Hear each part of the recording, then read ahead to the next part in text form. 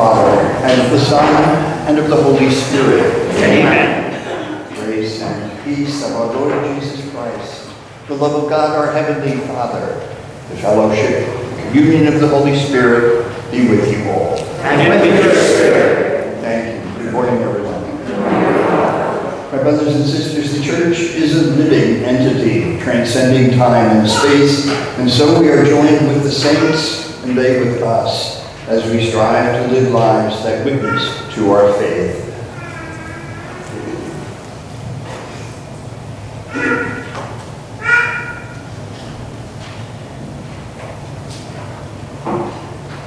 Lord Jesus, you are the delight of the saints. Lord, have mercy. Lord, have mercy. Lord Jesus, you are the Lamb of God who takes away our sins. Christ, have mercy. Christ, have mercy. Lord Jesus, you are the joy of every heart. Lord, have mercy. Lord, have mercy.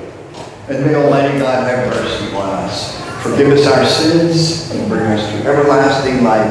Amen.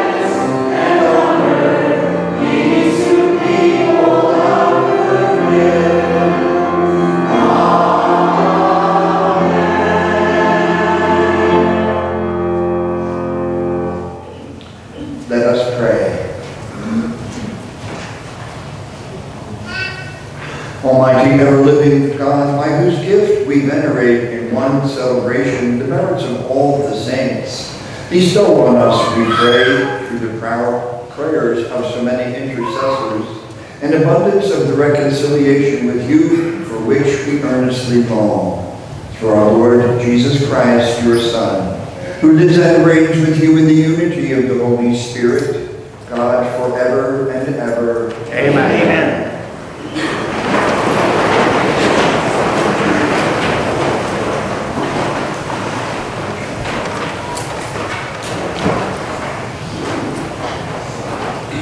A reading from the book of Revelation. I, John, saw another angel come up from the east, holding the seal of the living God. He cried out in a loud voice to the four angels who were given power to damage the land and the sea. Do not damage the land or the sea or the trees until we put the seal on the foreheads of the servants of our God. I heard the number of those who had been marked with the seal 144,000, marked from every tribe of the children of Israel. After this, I had a vision of a great multitude, which no one could count, from every nation, race, people, and tongue. They stood before the throne and before the Lamb, wearing white robes and holding palm branches in their hands. They cried out in a loud voice Salvation comes from our God, who is seated on the throne, and from the Lamb. All the angels stood around the throne and around the elders and the four living creatures. They prostrated themselves before the throne, worshiped God, and exclaimed, Amen. Blessing and glory, wisdom and thanksgiving, honor, power, and might be to our God forever and ever. Amen. Then one of the elders spoke up and said to me, Who are these wearing white robes, and where did they come from? I said to them, My Lord, you are the one who knows. He said to me, These are the ones who have survived the great time of distress. They have washed their robes and made them white in the blood of the Lamb. The word of the Lord. The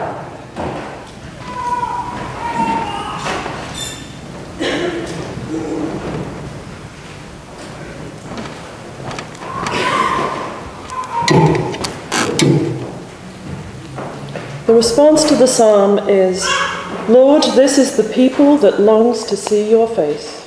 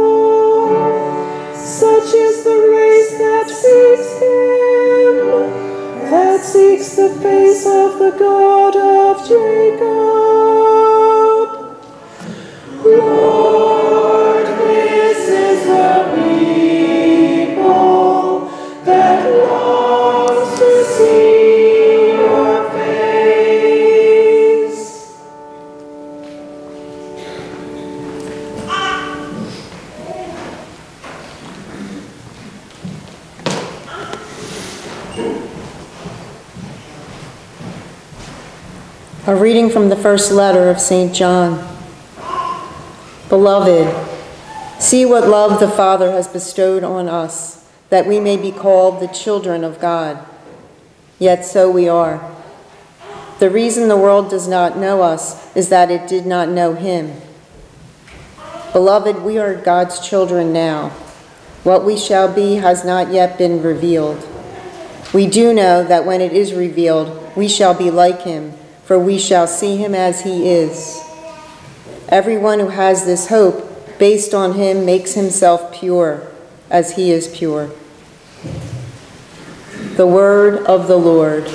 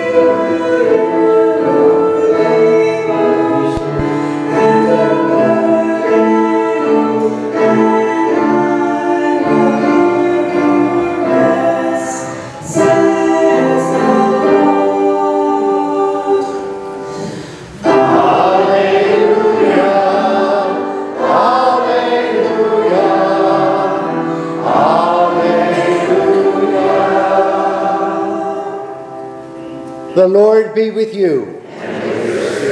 A reading from the Holy Gospel according to Matthew.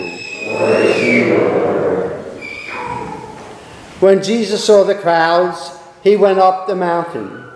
And after he had sat down, his disciples came to him.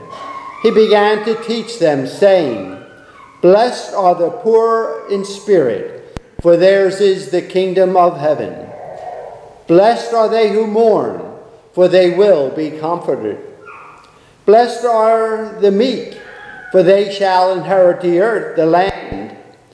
Blessed are they who hunger and thirst for righteousness, for they will be satisfied.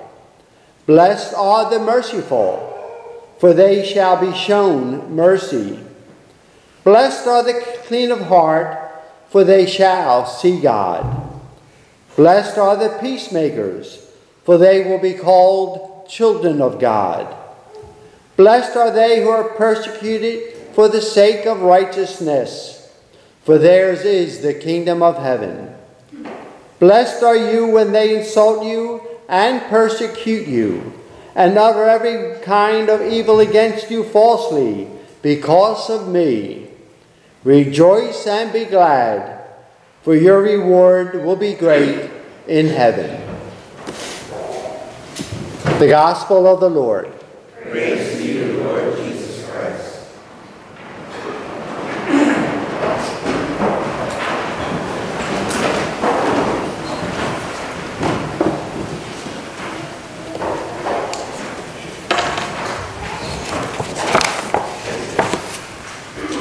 There's a famous scene in the life of St. Teresa of Lisieux, the little flower. When she was very young, she wondered whether the little or ordinary saints there in heaven were not eternally embarrassed by the presence of the greater saints. Her older sister used the opportunity to teach her about holiness, using the example of two tumblers, one large, one small each filled with water to the brim. Which is more full? she asked. The answer, of course, is neither is more full. Both were equally full, even though one has a greater capacity than the other. And in the same way, the saints in all their glory are full, filled with the very fullness of God, as St. Paul tells us, each sharing in his divine life according to his or her capacity. With that in mind, back when I was seven years old, the church gave me, and I'm sure most of you, the secret of the meaning of life. You may not have looked at it as, uh, as being such uh, when it was actually taking place, but most of us grew up in one way or another listening and responding to the questions in the catechism. And the one that I often refer to, even, uh, even now, especially in Masses of Christian burial, that one, why did God make you? That was the question that was there. And then, of course, Sister would answer so that we would know it. And then, of course, we had to memorize it to know Him, to love Him, and to serve Him in this world and you know the rest of it, many of you. I see you nodding your heads. And to be happy with Him forever in heaven or in the next world, depending on which translation. In other words, there is one meaning, one purpose to life, and that is to become a saint. Clearly, God created us to be one with Him forever in heaven. That comes out through the teachings of Jesus. My brothers and sisters, there is nothing more important than to realize this one fact. But it's almost as if we don't dare believe that this glory could possibly be offered to us. But that is why God created us. We fall into the error of thinking that the saints were born saints. We forget the incredible transformation that brought about in our own lives that sanctifying grace that changed us, changed our souls, and opened us to all of the graces and blessings that God would offer to us throughout our life here on earth, making baptism probably the most precious gift ever given to us. Do you see? We are holy because God chose us and because God shares his life with us. In baptism, that's where it started. You often hear me, I know Deacon John is going to nod his head, I'm constantly, go to a baptism if you haven't been to one for a while. It's one of the most beautiful reminders of what we are all about and what brings us here day after day and week after week. The things that started there in baptism were to carry us throughout our lives until we stand before our loving God, bearing the fruits of our time here on earth. God nourishes us in that life, in our Holy Communion. That's what the Eucharist is all about. And offers us an eternal destiny of union with Him forever. I love that example of St. Therese and her sister because it reminds me of my share in this drama of my own pilgrimage to God. We all have responsibilities that are given to us by virtue of us pledging ourselves to live in accordance with the teachings of Christ. My sisters and brothers, every significant decision that we make either deepens our capacity for union with God or lessens it. Makes us more generous, more loving, or less. They're the barometers that we should be using in measuring what it is that we do and making the decisions that we make. Do you see, as we live these graces we have received, our participation in the life of God deepens, just as when we refuse those graces, it diminishes.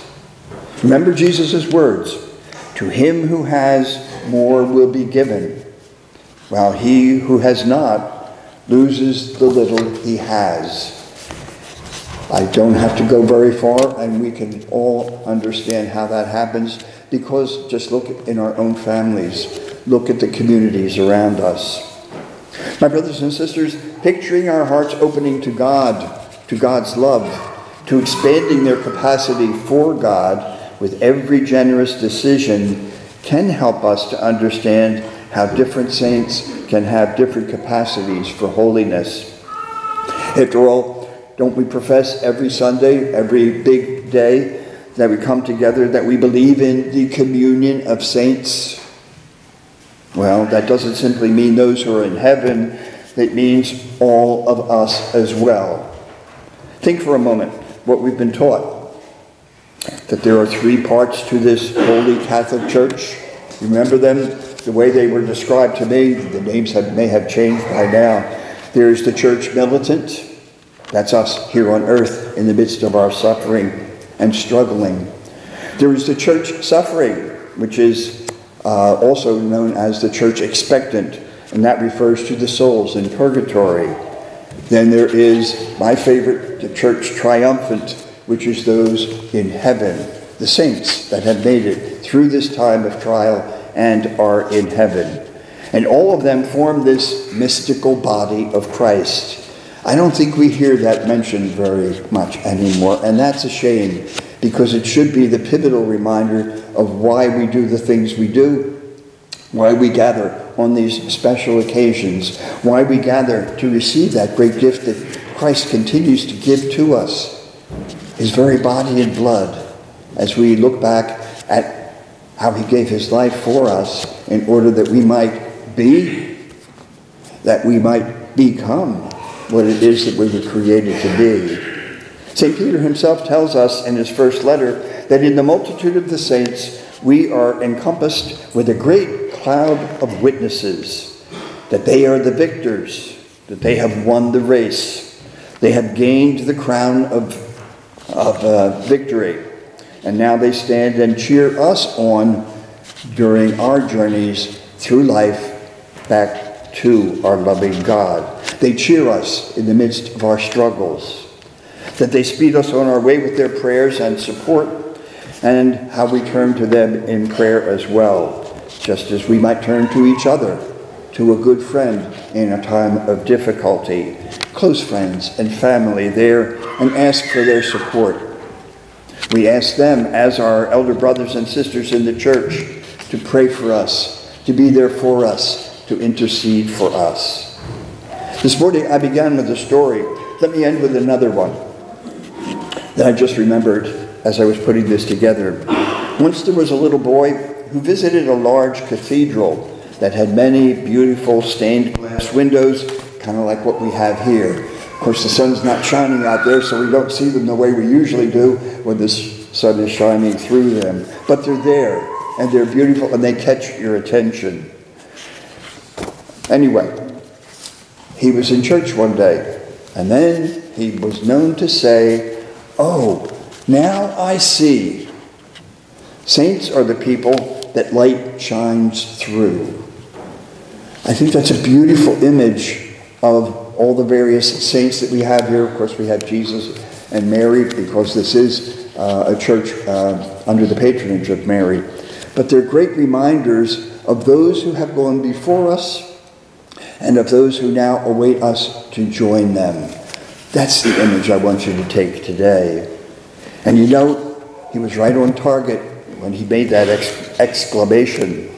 Saints are the people whose lives have touched, have touched ours in such a way that the light of God's love has shone through their lives to ours. My brothers and sisters, we really need to think about how or if God's love shines through us, through our lives, to others, to those around us.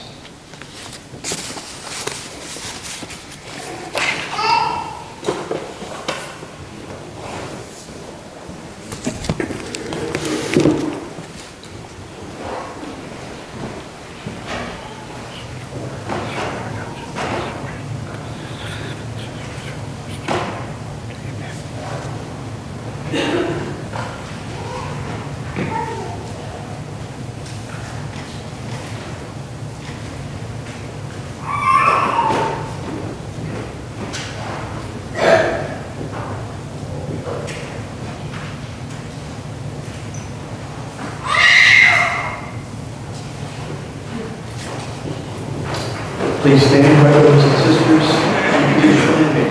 as we once again remind ourselves what it is we believe in as we pray together the Nicene Creed. I believe in one God, Father Almighty, the maker of heaven and earth, of all things visible and invisible. I believe in one Lord Jesus Christ, the only begotten Son of God, born of the Father before all ages, God from God, light from light, true God from true God, begotten, not made, consubstantial with the Father, through him all things were made. For us and for our salvation, he came down from heaven, and by the Holy Spirit was incarnate of the Virgin Mary, and became man.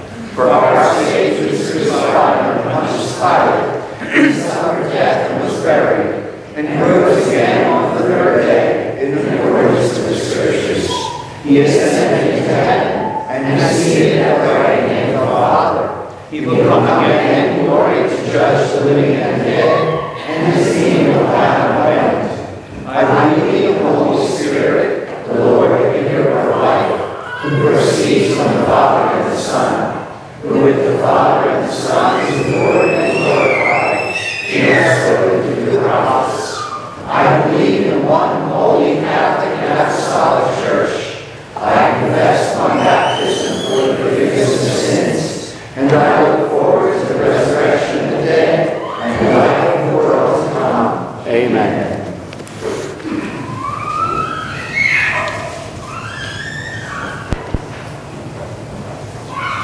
My sisters and brothers, as children of God, we call upon God as our Heavenly Father and express to Him our needs and the needs of the world. For the church, the communion of saints, that we may grow in holiness as we grow in faithfulness to the Beatitudes, we pray to the Lord. Lord. For those in positions of authority, that they may hunger and thirst for righteousness, working tirelessly to create a better future for all people, we pray to the Lord. Lord. For peacemakers and all who work to bring peace to families, communities, and the world, that they may see the fruit of their labor. We pray to the Lord. Lord, hear our prayer. For those who are persecuted for the sake of righteousness may be kept safe in the tender embrace of God's arms. We pray to the Lord. Lord, hear our prayer. For all the sick and for those who bring care to them, we pray to the Lord. Lord, hear our prayer. For those who have died, especially to, for those whose names we have placed on the altar, and for those whose names are inscribed on our memorial scrolls, we pray to the Lord. Lord, hear our prayer. For the people of the parish for whom this Mass is being offered, we pray to the Lord. Lord, hear our prayer. For the legal protection of the unborn in all life, from conception to natural death, we pray to the Lord. Lord, hear our prayer. And for all the prayers we hold in the silence of our hearts. And for all our intentions, spoken and unspoken, we pray to the Lord. Lord, hear our prayer. Loving God, we mourn and you comfort us. We show mercy and you forgive us. We make peace and you call us your own. Bless us in all that we do as you grant the prayers we make according to the teachings of your beloved Son, through whom we make these prayers. Jesus Christ, our Lord. Amen. Blessed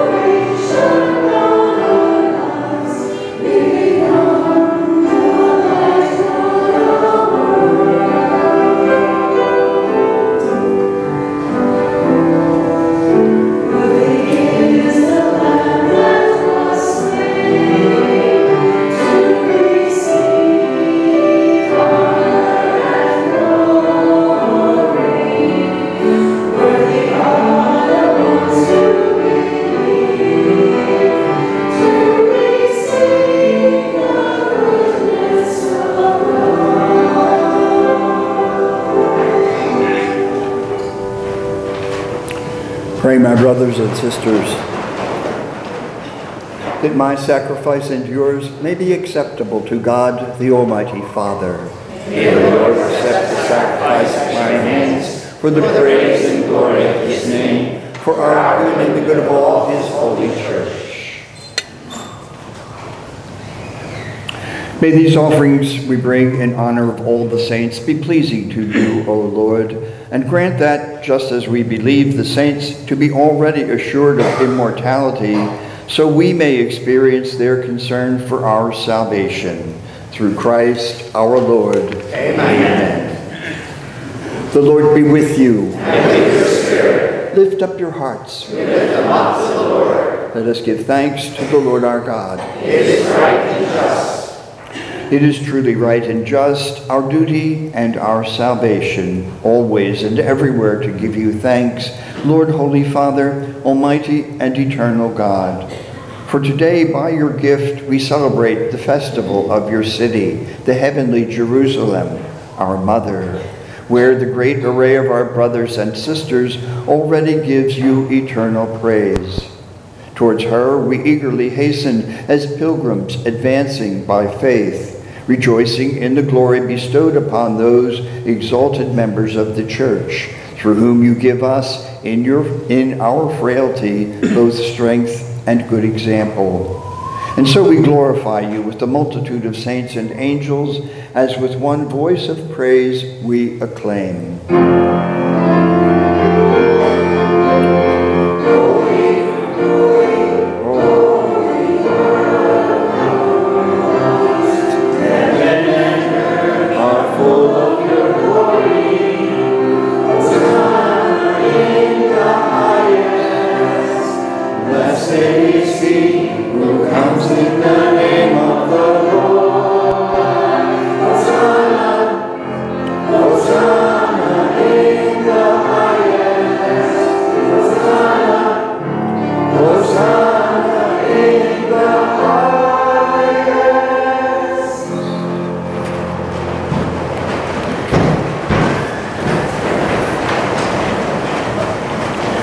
You are indeed holy, O Lord, and you, all you have created, rightly gives you praise. For through your Son, our Lord Jesus Christ, by the power and working of the Holy Spirit, you give life to all things and make them holy. And you never cease to gather a people to yourself, so that from the rising of the sun to its setting, a pure sacrifice may be offered to your name. Therefore, O Lord, we humbly implore you by the same Spirit, graciously make holy these gifts we have brought to you for consecration,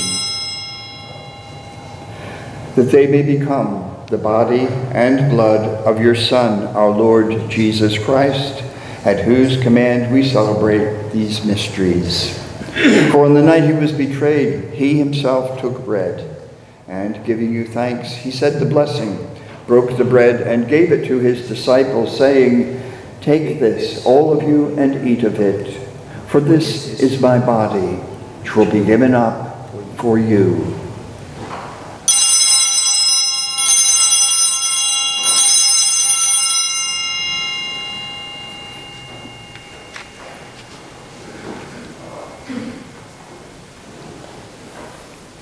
In a similar way, when supper was ended, he took the chalice, and giving you thanks, he said the blessing gave the chalice to his disciples, saying, Take this, all of you, and drink from it. For this is the chalice of my blood, the blood of the new and eternal covenant, which will be poured out for you and for many for the forgiveness of sins. Do this in memory of me.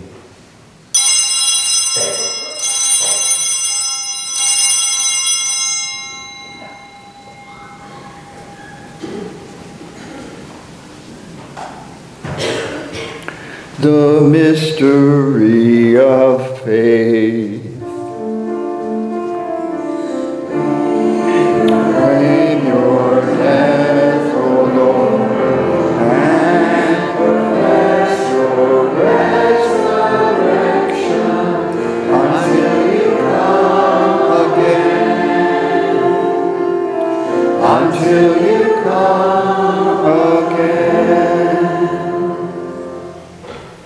Therefore, O Lord, as we celebrate the memorial of the saving passion of your Son, his wondrous resurrection and ascension into heaven, and as we look forward to his second coming, we offer you in thanksgiving this holy and living sacrifice. Look, we pray upon the oblation of your church, and recognizing the sacrificial victim by whose death you willed to reconcile us to yourself, grant that we who are nourished by the body and blood of your Son and filled with his Holy Spirit may become one body, one spirit in Christ. May he make of us an eternal offering to you, so that we may obtain an inheritance with your elect, especially with the most blessed Virgin Mary, Mother of God, with blessed Joseph, her spouse, with your blessed apostles and glorious martyrs, and with all the saints on whose constant intercession in your presence we rely for unfailing help. May this sacrifice of our reconciliation, we pray, O Lord, advance the peace and salvation of all the world. Be pleased to confirm in faith and charity your pilgrim church on earth with your servant Francis, our Pope, Dennis, our Bishop, and Joseph, our coadjutor, the order of bishops, all the clergy, and the entire people you have gained for your own. Listen graciously to the prayers of this family whom you have summoned before you. In your compassion, O merciful Father, gather to yourself all your children scattered throughout the world. To our departed brothers and sisters, and to all who are pleasing to you at their passing from this life, give kind admittance to your kingdom. There we hope to enjoy forever the fullness of your glory through Christ our Lord, through whom you bestow on the world all that is good.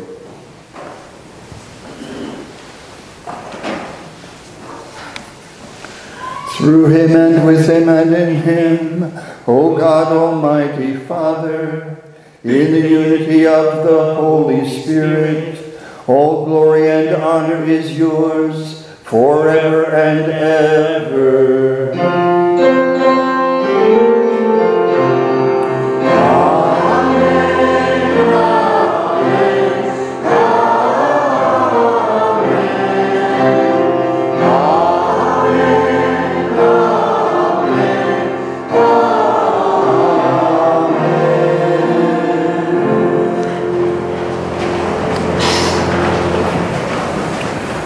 My sisters and brothers, at the Savior's command and formed by divine teaching, we dare to say, Our Father, who art in heaven, hallowed be thy name. Thy kingdom come, thy will be done, on earth as it is in heaven. Give us this day our daily bread, and forgive us our trespasses, as we forgive those who trespass against us. And lead us not into temptation, but deliver us from evil. deliver us, Lord, we pray, from every evil. Graciously grant peace in our days, that by the help of your mercy we may be always free from sin and safe from all distress, as we await the blessed hope and the coming of our Savior, Jesus Christ. For the kingdom, the power, and the glory are yours, now and forever. Lord Jesus Christ, who said to your apostles, Peace I leave you, my peace I give you. Look not on our sins, but on the faith of your church, and graciously grant her peace and unity in accordance with your will, who live and reign forever and ever. Amen. The peace of the Lord be with you always. And with your spirit, let us offer each other a sign of peace. Ele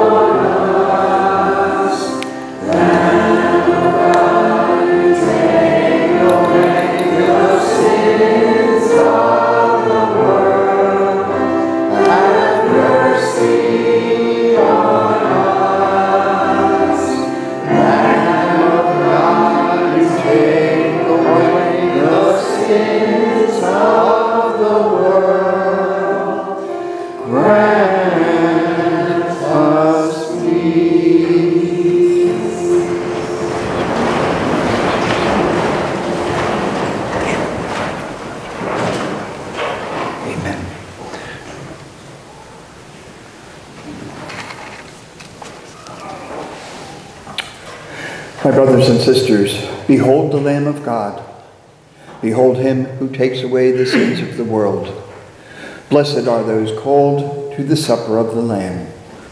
Lord, I am not worthy that you should enter under my roof, but only say the word, and my soul shall be healed.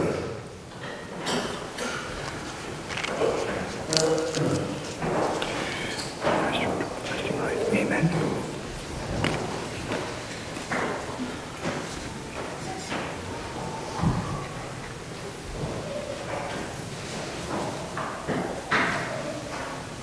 By Christ, people. Amen.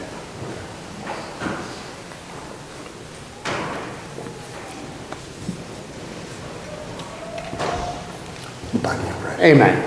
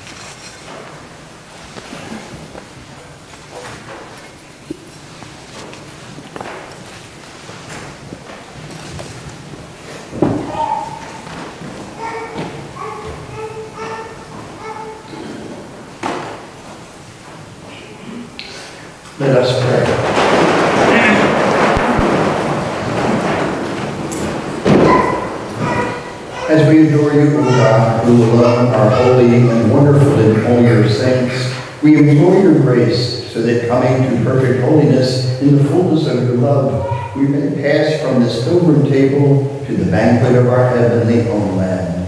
Through Christ our Lord. Amen. My sisters and brothers, the Lord be with you. Bow down for the blessing. May God, who through the childbearing of the Blessed Virgin Mary willed in his great kindness to redeem the human race, be pleased to enrich you with his blessing. Amen. May you know always and everywhere the protection of her through whom you have been found worthy to receive the altar of life. Amen. May you who have devoutly gathered on this day carry away with you the gifts of spiritual joys and heavenly rewards. Amen. And may Almighty God bless you, the Father, the Son, and the Holy Spirit. Amen. Go in peace, glorifying the Lord by your life. Thanks Together let us pray the prayer to St. Michael. St. Michael the Archangel, defend us in battle. Be our protection against the wickedness and snares of the devil. And God, we we humbly pray and heavenly hosts, by the power of God, cast into Satan, and all evil spirits who round about the world seeking to ruin souls. Amen. Have a love-filled, faith-filled, hope-filled day, everyone.